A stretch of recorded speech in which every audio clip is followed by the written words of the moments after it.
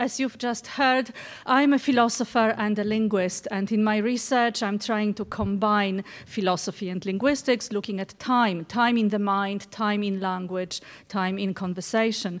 And uh, um, today I'm going to talk about human time uh, as we experience it and we, as we uh, hold beliefs about it, as well uh, as a little bit about real time, so the metaphysics of time, um, and try to combine them in one talk. When you look at any uh, good work of fiction, you will see that there are plenty of uh, deep, profound um, thoughts uh, about time. Here is just one Dostoevsky, uh, The Devils. Uh, when all mankind achieves happiness, there will be no more time, for there won't be any need for it. A very true thought. Where will it be hidden? It will not be hidden anywhere. Time is not an object, but an idea. It will be extinguished in the mind. So that's just one idea. We hold the time time is our time, psychological uh, time.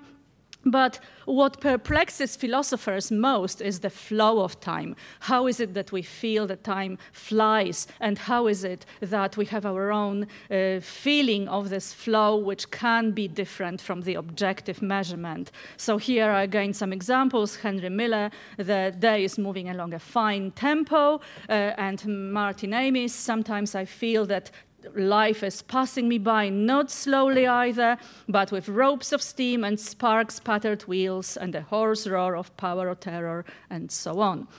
Um, on the other hand, when you look at uh, contemporary physics and dating back uh, to, uh, to Einstein, here I quote uh, from his popular book on relativity, which was translated into English almost exactly 100 years ago, 1920, we see that time is simply a dependent variable of space time. So we have four dimensional reality or multi-dimensional reality, uh, but time is a dependent variable. I quote here the world of physical phenomena is naturally four dimensional in the space time sense, uh, for it is composed of individual events, each of which is described by four numbers, namely three space coordinates x, y, z, and a time coordinate, the time value t. So time, uh, understood as such, simply doesn't uh, flow. So my questions are can the human concept of time be reconciled with real time, of space time? And then how do the concepts of the past, the present, the future, and the flow uh, of uh, time fit in? And if can be, it can be reconciled, then how? Because of course we could start with the assumption that it's all time, so let's try to reconcile, like uh, uh philosophers uh, often do. They start with an assumption. In other words, again, uh, my questions are what does it mean for human time to flow? And then I'm going to move between the metaphysics of time, wearing my philosopher's hat, so the reality of time as uh, uh, we understand it, and uh, wearing my ling linguist's hat, the concept of time as expressed in speaking about the location in time. By location, I mean the past, the present, the future, or yesterday, tomorrow, and so on uh, and the flow of time uh, in different languages because it's really interesting to look what different languages do uh, with uh, time. So, first of all, time can mean many different things. Uh, when philosophers talk about time, uh, I call it metaphysical time, then they mean the ontology of time, the nature of metaphysical time. In other words, they would say that time is something we uh, predicate, we say about the world, about reality, not. Uh, uh, then, when we look at psychology, I call it epistemological time, then time means the human concept of time, so our, our time. And then time in language will be temporal reference in natural language. So in language, we'll talk about time, how it is expressed uh, through uh, adverbials, yesterday, tomorrow, or tenses, uh, simple present, and so on. And analogously, tense tense. This is even, uh, even uh, less known that philosophers talk about tensed reality. So reality is either tensed or not tensed. Here there is a division um, in, uh, in the field. Some claim that the past, the present, and the future are real. Others uh, are more oriented towards uh, natural sciences and claim that uh, reality is not tensed. Then we have tense in our thoughts because thoughts distinguish between the past, the present, and the the future. So we have epistemological time. And finally, uh, what we all used to as learners of languages, tense in language. So linguistic tense, systematic grammatical marking, normally on the verb, but not always, uh, of temporal distinctions in a natural language. And in my work and in my talk today, I start with the assumption of commensurability of these three domains, namely that we can actually talk about them together in the same research project and in the same talk. It is all time, in other words. Uh, I've written a little bit about that, so a bit of self-promotion representing time, uh, and then a follow-up, uh, an article here.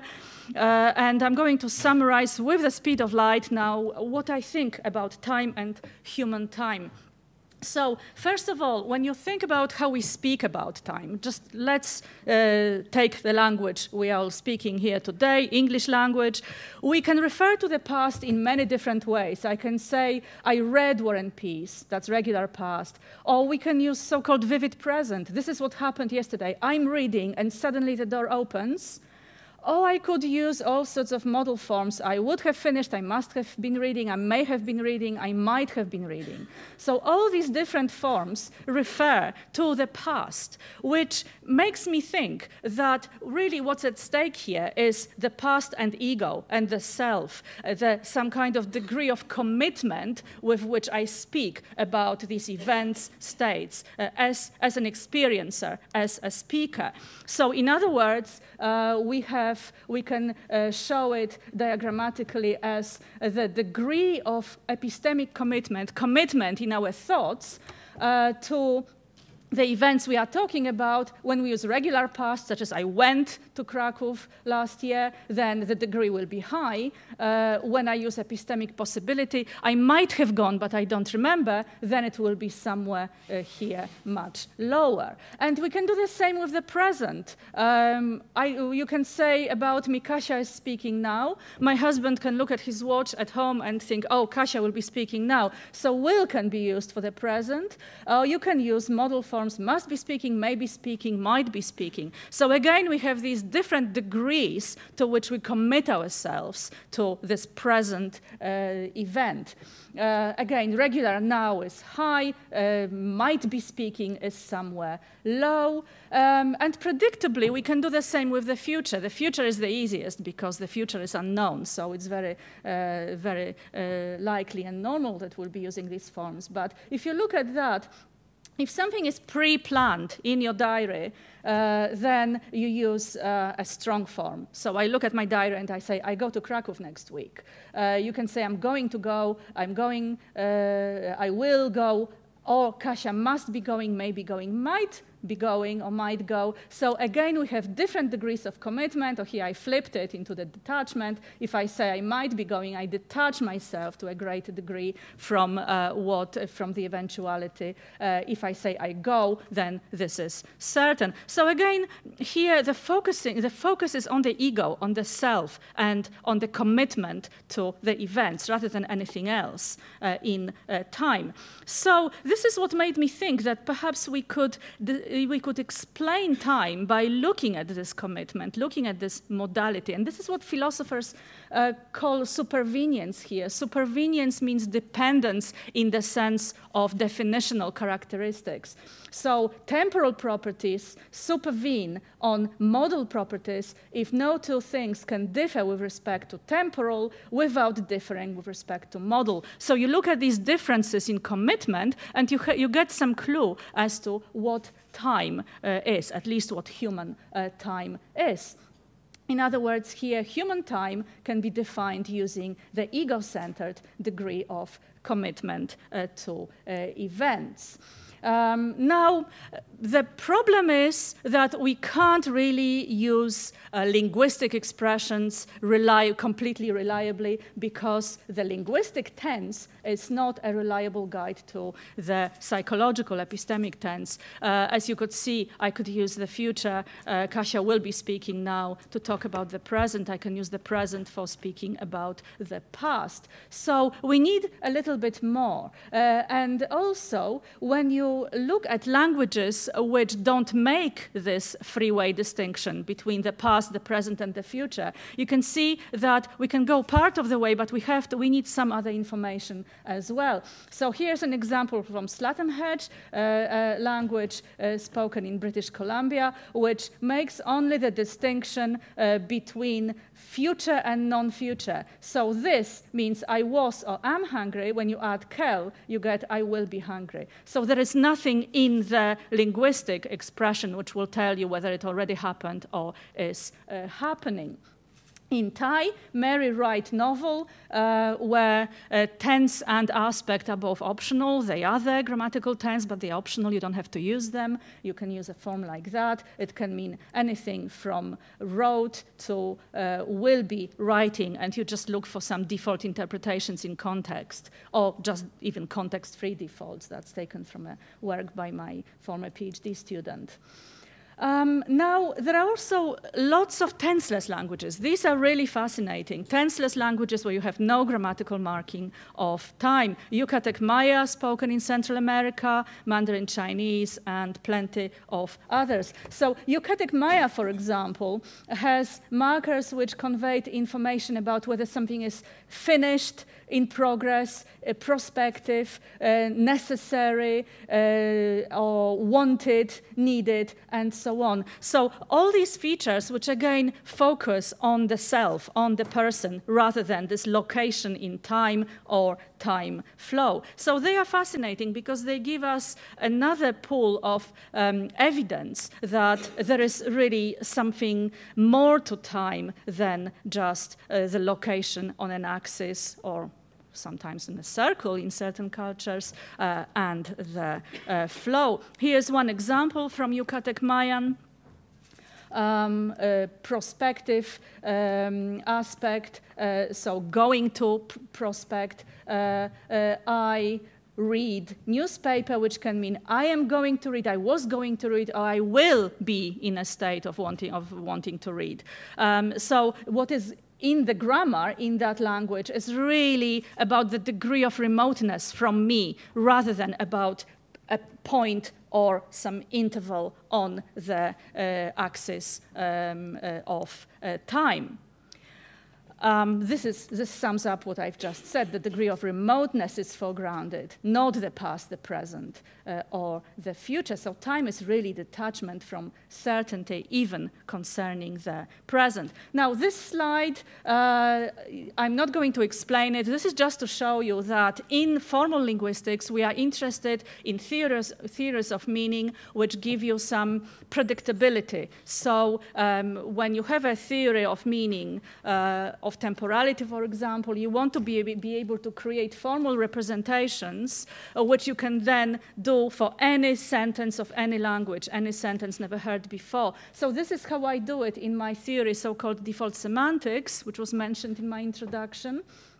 Um, where I put, uh, this stands for conceptual representation, uh, and I put uh, uh here chunks of information, uh, after which I put the source of information or a process, and it all builds together compositionally into the meaning. And this is how I represent time. But as I said, this is just to show you visually, aesthetically, what it looks like. I'm not going to go into it. Uh, the idea is that there is a, a representation of meaning in the mind, uh, which combines information uh, from our uh, world knowledge, so encyclopedic knowledge, from the sentence, and from the context and from some stereotypes, defaults, as well as in inferential system, the way how human brain works. So the human mental architecture, mental processes will give you one way uh, uh, to um, produce meaning, and uh, aliens would give you another. Uh, that translates into types of processes, which again, when we process an utterance, they combine to give you that sigma I showed you before. So that's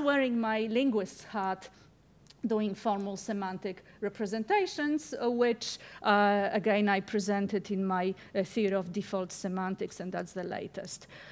Okay, um, so now back to uh, the question of uh, time meaning three different things. Remember my first slide, uh, where I talk about time in reality, in uh, our thoughts as well as in language.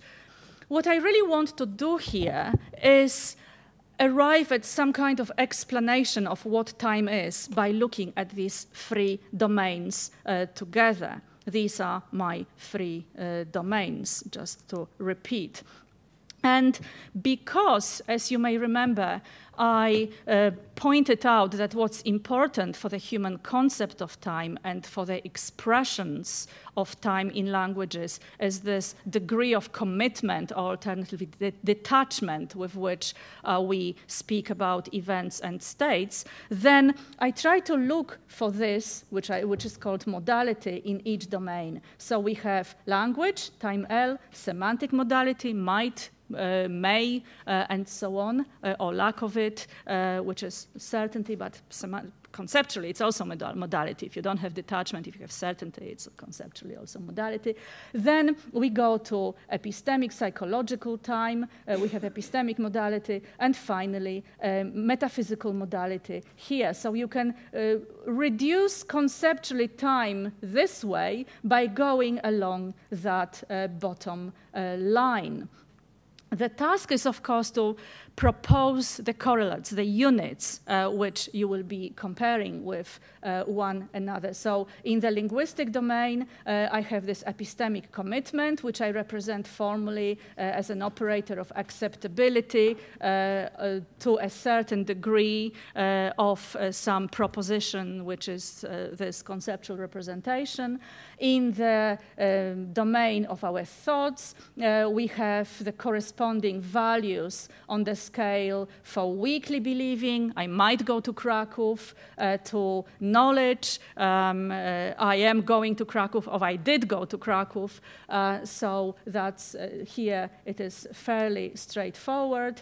Then it is, of course, harder to move from there to metaphysical time. Uh, here, people do it in different ways. You could, uh, you could do it um, from linearity and co-directionality, that is anthropic principle. We live in the kind of uh, universe in which uh, humans can live because uh, uh, of the increasing disorder of the world, second law of thermodynamics, or you can do, do it simply from these parallel modal reductions. Or in simple words, just as we are committed to propositions, to meanings, to a certain degree, because we are committed to events to a certain degree on a scale from weakly believing to strong knowing, for example, knowing that I am here now. So events and states can or must, in the sense of metaphysical modality, take place. So again, we have these, these degrees of detachment or commitment on the level of real world. Okay, so that's my first part about what time is in these three domains and how we can uh, have a reductionist account, how we can talk about these three domains um, uh, in uh, one uh, conceptual frame. Now the passing of time.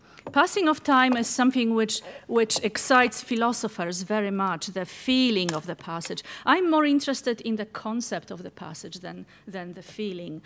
Um, and here what is, what is important is that we seem to feel that time really passes, but that the rate is how we feel about this passage. So we have the concept of some ob more objective time and subjective time.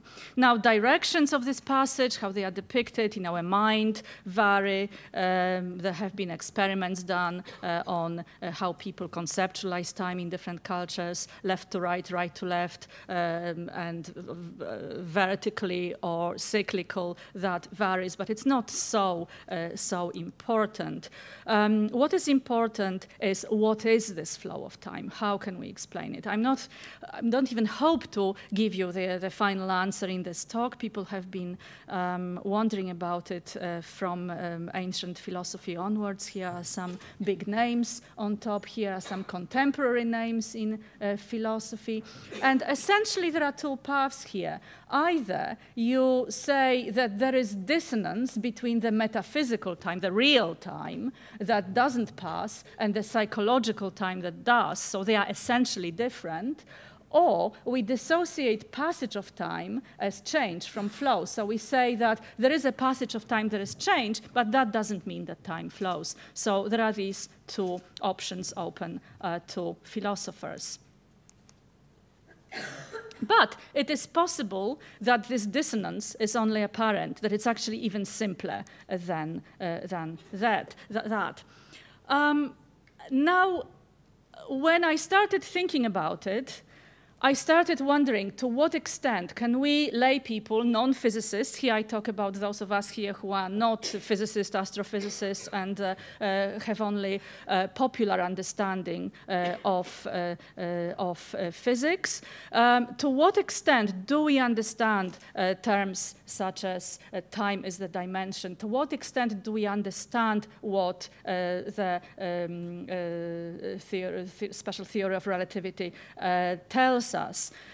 And it seems to me that this, well, it's clear that this awareness increases. As I said, we are 100 years after the publication of the, even of the, of the translation into English of Einstein's popular and beautiful popular book. Um, uh, if you haven't read it, I re really recommend it. It's a tiny, thin book called Relativity, and it's really, really, uh, well, mostly clear. Um, here we have this increasing awareness of Einstein's special theory of relativity progressing with time. Um, we also know that we don't observe any absolute direction of time flow. We know it. Neither do we observe any absolute rate of this flow. This is not what we observe. Directions such as the past is behind us, future is ahead, uh, are relative, are culturally imprinted. We don't, we don't really think that they are real. We also know that the rate is the feeling that's clearly subjective. When you uh, wait uh, for your dental appointment, then time will uh, flow uh, very slowly. When you're enjoying yourself, it just simply flies. So uh, we know that. This is something we do know. We also know that we have this perspective of the ego on uh, time. So some philosophers sum it up as this functionalist explanation. Here, mainly um, uh, Simon Prosser. It is the ego that changes, and at the same time, ego endures. Endures is extended in time from birth to death, persists through time, uh, and uh, constitutes a construct without which moral laws and other important ideas like, like causation, cause-effect relation could not be proposed. So it's our perspective on reality that gives us that. Now, this is what Simon Prosser, a British philosopher uh, from uh, University of St Andrews, uh, calls computational economy. I quote here, computational economy is, I suggest, the chief reason why objects are represented as enduring rather than perduring, enduring, extended in time, rather than being stages, stages of me at different times um, it is more economical to represent a simple enduring entity from birth to death than perduring, so me, different me's at different stages in time um, um, that consists in the unity of a series of independently represented parts. So I'm not just a unity of different, different me's, I uh, and my consciousness are one from uh, birth to death, but that's our perspective because this is more economical to think about humans in uh, that way. Some, but there are some who prefer this stage view, that we are stages. So this is how I look at it now. Firstly, I believe that time doesn't really pass. It's a dimension of space-time. I trust that this is, this is what current state of physics tells us, and that must be right. So from the percolation of, the, of modern physics, of space-time to popular knowledge, which is about 100 years old, about that, we get there. That we don't understand it fully, but we understand it uh, as, uh, uh, as communities, we understand it to a degree.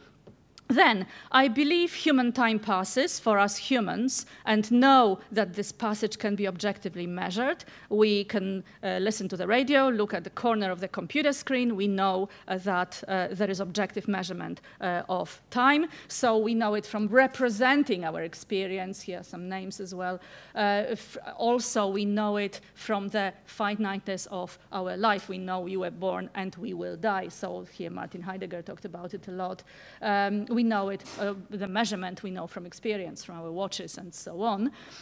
And C, I also know that the objective measurement of human time can differ from the gauge duration reported by the experiencing subject. So emotions can interfere, uh, or perspective. If you look something in a smaller in a smaller scale, then time seems to be shorter.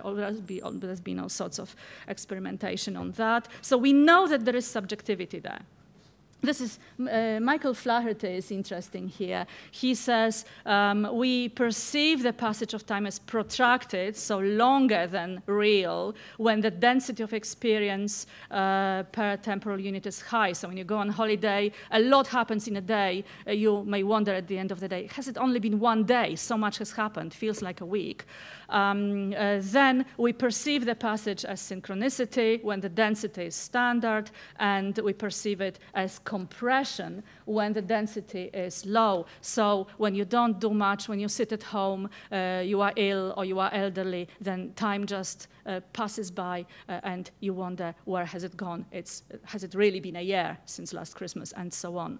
So there are these different um, reasons. This is one, the density of experience. Emotions will be. Uh, perspective will be yet another for this uh, subjectivity.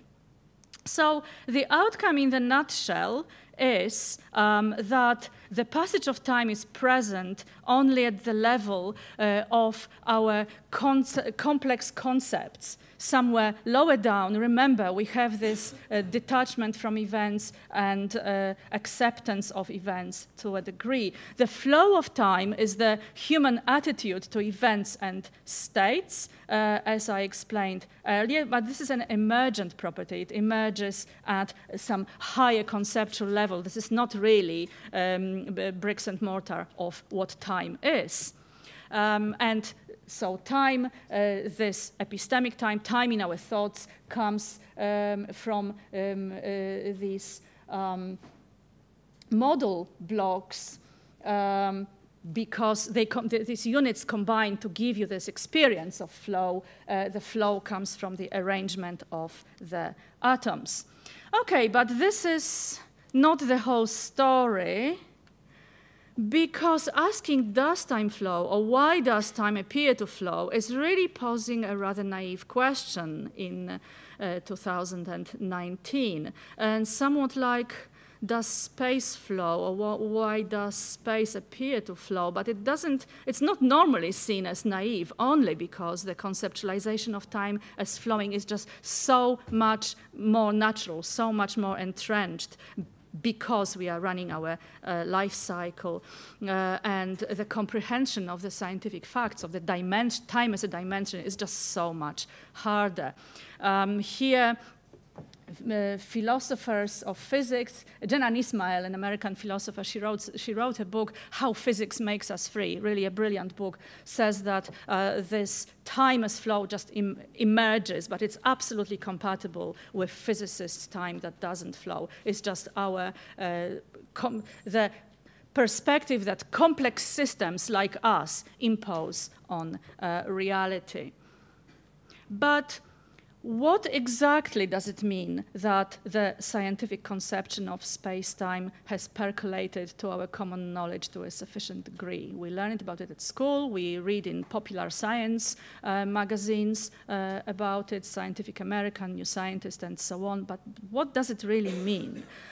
Um, here, I think anthropologists come with some help. I looked at the work uh, of a French anthropologist, Dan Sperber, uh, who talks about so-called semi-propositional representational beliefs. So we believe some fact, we believe facts, we have factual beliefs, but we also believe representations of facts. Uh, some beliefs are propositional because we fully understand them. Others are so-called semi-propositional because we don't fully understand them. Here the example he gives uh, is uh, he, he, went to Ethiopia, spoke to a tribesman in Ethiopia. Tribesman tells him there is a dragon in the forest. The dragon has a golden heart. Go and kill the dragon. And Sperber replies, But I don't have a gun. And then he wondered, Why did I say that? Why didn't I just say, Come on, there are no dragons? And he thinks it's because he tacitly understood that what the tribesman was saying was actually rational, that there is something out there in the woods, there is some danger which the tribesmen couldn't understand, so they, so to speak, put it in quotes in their thoughts, and they conceptualized it as a golden dragon. So it's not really irrational, it's simply semi propositional and representational, not factual. Uh, so this is how he explains uh, uh, cross-cultural differences.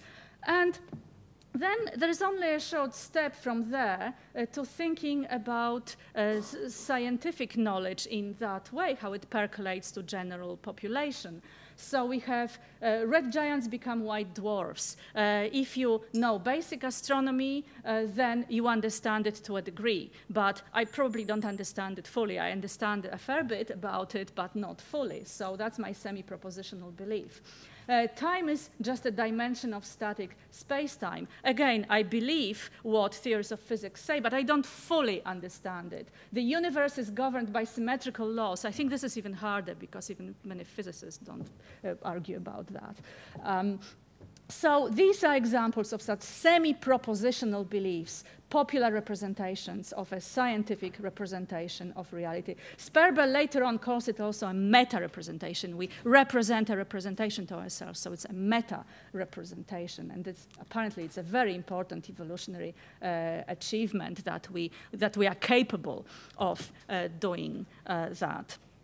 So, to sum up this bit, uh, the representation of time draws on a partial understanding uh, of a theory of, of time in space-time. The belief that human time flows arises out of the awareness of the semi-propositional uh, character and the belief that human time flows will never really become factual uh, because it is founded on this assumed definitional difference between our time as we experience it and um, the real uh, real metaphysical uh, time. So we have this I perspective, which gives it asymmetry. The past is the past, the future is the future. It's not just a matter of, the, of where you stand, uh, and we have determinism. Um, here are some references. I've actually put references at the end of this talk because I'm going to put this talk on my academia site on, on Monday. So if you're interested in these, uh, these topics, then you're welcome to, uh, to look at it there and have a look at the references. So in other words, time flows because it flows in my imperfect uh, meta-representation of the uh, static universe. Uh, do I, five minutes? I'll, I think I'll be okay, thank you. Um, so how crucial is this dynamic nature of time to our beliefs about time? How crucial is it that it flows? I was sort of already arguing that it's not so crucial because what it really is on the level of these bricks, the building blocks, is this degree of commitment with which we talk about events. So, and I showed you that in languages without tenses, what matters is again something else, something centered on us rather than where this event is in the past, in the future, and uh, so on. So Simon Prosser again, he says the experience of passing time represents necessary falsehood. Time doesn't pass, we get it wrong. I think this is a bit superficial because by allowing ourselves to dig deeper into the properties of temporal concepts, how they are focused on us and this detachment or commitment, um, uh, all the way down to how they are composed, we also shed light on uh, what it is that our experience of time is really experience uh, of. So what I've done here is I moved from concepts to their reflections in languages. Uh, I talked about forms of temporal reference, which I employed in natural languages, how they give us a window uh, on the human concept of time. Mm, but we have to remember that they only give us a window on online thinking, so on uh, something which um, some linguists call thinking of, for speaking. When we prepare our thoughts to deliver them in conversation, then we do it on the level of molecules of con concepts, not atoms. So we prepare them for speaking. When you think of what these concepts really are in our thought, then they are different, and they are the same for all languages. You don't have um, this uh, diversity across languages. So the concepts we employ in thinking for speaking are complex uh, concepts, not atomic. Um, now, experiencing for thinking allegedly is the same. When we experience something and then we think about it, then it's also done on that molecular level. And language here interferes. This is a good example uh, from, again, Yucatec Mayan, that uh, language spoken in Central America, where when Speakers of that language look at a mineral water bottle they will say plastic, we'll say bottle. When they look at a plank of wood, they'll say wood, we'll say plank. When they look at a pancake, they'll say mace, we say pancake, because they conceptualize by the substance, not by the function. So languages will have words which will uh, be based on different ways of thinking about reality, but that's only on the level of these molecules. On the level of atoms, we are all the same, we all have the same um, mental architecture. This is what we call neo-Whorfianism. So we have the surface uh, cross-linguistic variation, uh, but on the level of building blocks, we are all uh, the same. So the complex concept of time appears as an emergent property. What I'm arguing here, that time as flowing and time as the past, the present, and the future, is precisely uh, this molecular concept, but on the level of atoms, we have these degrees of uh, commitment uh, or detachment. It's an emergent property on the higher molecular level of human concepts. Now, events, this is just to sum up, events can be understood or remembered uh, to different degrees. This is what I said. Uh, or uh, they, they, can be anticipated more or less strongly. Inference about events can be more or less trustworthy. The concept of time uh, here rests on building blocks that mark such degrees uh, of uh, commitment. And that pertains all the way across from the past through the present to the future, and this is important, time doesn't flow on the level of these conceptual building blocks, but it flows on the level of the molecular combinations, which, is, uh, which are species-specific human thoughts and their culture and language-specific uh, expressions. That, again, uh, it's not intended to be understood, just to show you that we in lingu formal linguistics, we are excited by formalizations. So I have uh, some subjective mm, um, subjective qualifier, objective qualifier over time. Subjective because we know that uh, we can have distortions to our feelings about uh, how quickly something flows, uh, then objective because we can measure it. This is real time. That all gives us the concept of time, and then all altogether, concept of time is translated as these degrees of acceptability that something is the case, was the case, will be the case. So again, this ego-centered degree of commitment. So this is how I put it in those ovals which you, uh, which you saw mm, before. And this is so because we are these self-governing complex systems, that is humans, uh, who perform uh, this uh, th thoughtful uh, assessment and we bestow time uh, with this dynamic nature higher up, not on the level of what really is there in reality. We do it in thinking for speaking, experiencing for thinking, uh, and it is not really there in the language on the level of those atoms which is almost analogous to experiencing the flow of space when one runs, spins around, or swings on a playground swing, but really knows that it doesn't doesn't flow. So we are not that, that far off. It's just it's much harder to conceptualize. I didn't intend that. It was supposed to be quieter. It was supposed to be drums, but not that loud. So um, uh, just to wake you up. Summing up, um, the flow of time uh, ex explained here through the emergent ego perspective and the semi-propositional nature of beliefs, that is this partial ignorance, we don't fully understand what physicists tell us, and the fact that the concept of time is complex, then human time emerges from the degrees of commitment to those uh, uh, events, uh, and that can um, then uh, be represented differently in different languages, but on the level of the basic concepts, thoughts about time don't differ from language to language. Um, on uh, uh, the, the relativity, the difference only arises on the level of complex concepts. So we have static human time, the basic level human time, which is compatible with the time of space-time in the physicist's description of reality. So we have really no mismatches to explain. Time is time as we know it uh, from uh, dimensions of space-time. The rest can be explained uh, through those um, theories of philosophy, anthropology, linguistics, and so forth. That's all. Thank you.